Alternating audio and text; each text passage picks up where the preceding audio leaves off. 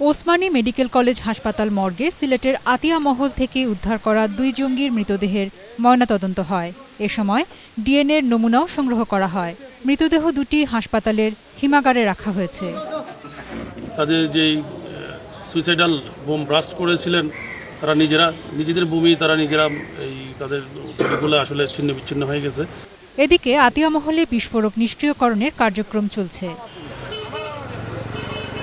প্রচুর আনএক্সপ্লোর্টেড আইডি এখনও ভিতরে আছে।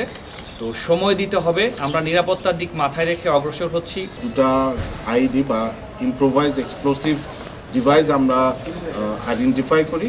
অন্যদিকে মৌলভীবাজারের বড়হাটের জঙ্গি আস্তানায় নিহত আশরাফুল আলম নাজিমের মৃতদেহ শনাক্ত করেছেন তার মা মনোয়ারা বেগম।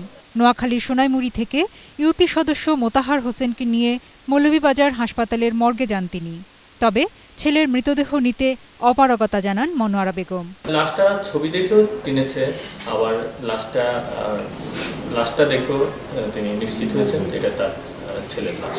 মূলত সে ঢাকায় থাকতো যোগাযোগ হতো তার মায়ের সাথে মাঝে মধ্যে বাড়িতে যেত কিন্তু গত আট মাস আগে যাওয়ার পর আসে বাড়িতে আসেনি। বড়হাটের নিহত বাকি দুই জঙ্গির পরিচয় এখনও জানা যায়নি।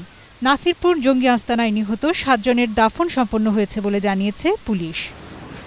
শতরূপা দত্ত, একুশে টেলিভিশন।